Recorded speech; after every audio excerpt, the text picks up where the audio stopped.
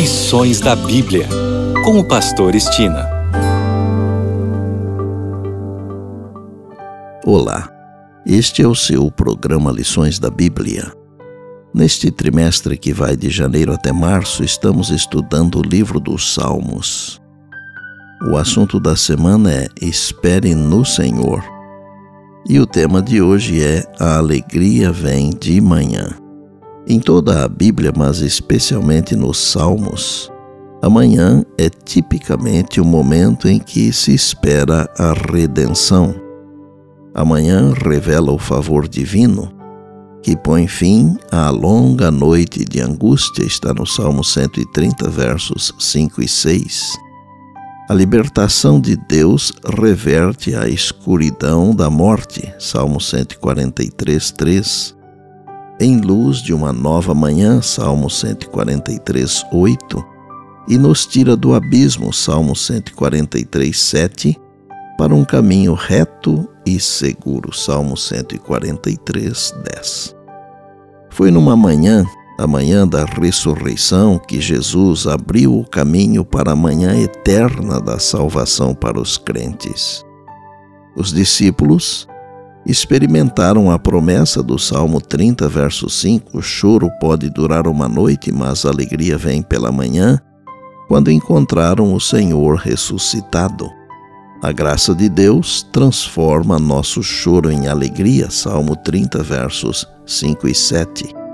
Assim como a estrela da manhã anuncia o nascimento de um novo dia, a fé anuncia a nova realidade da vida eterna dos fiéis. 2 Pedro 1,19 Jesus é chamado de a brilhante estrela da manhã, Apocalipse 22,16, que aguardamos, pois Jesus estabelecerá seu reino, no qual não haverá mais noite, mal nem morte, Apocalipse 21, de 1 a 8 e Apocalipse 2.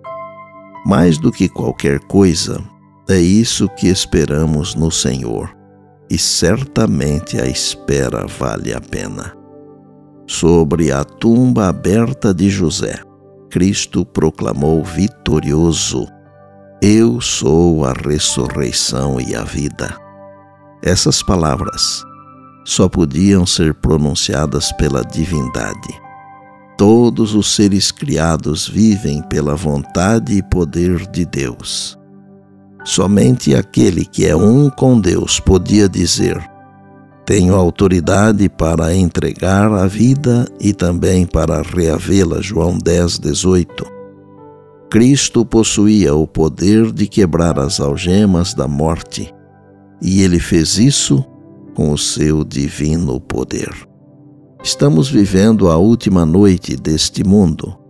Densas trevas cobrem a terra e a escuridão os povos. Em breve raiará a manhã gloriosa quando o Senhor aparecer nas nuvens dos céus. A luz da glória de Jesus iluminará a terra como faz o sol ao meio-dia. Devemos estar alertas as últimas provações são fortes, mas Jesus disse: Aquele que perseverar até o fim, esse será salvo. Mateus 24, verso 13. Logo veremos Jesus, logo estaremos no lar. E por bondade, lembre-se sempre das palavras de Jesus. Passará o céu e a terra, porém as minhas palavras não passarão. Eis que venho sem demora. E lembre-se que a voz é nossa, mas a palavra é de Deus. Bem, amanhã tem mais, se Deus assim nos permitir. E disse Jesus: Examinais as Escrituras, porque julgais ter nelas a vida eterna, e são elas mesmas que testificam de mim. João 5,39.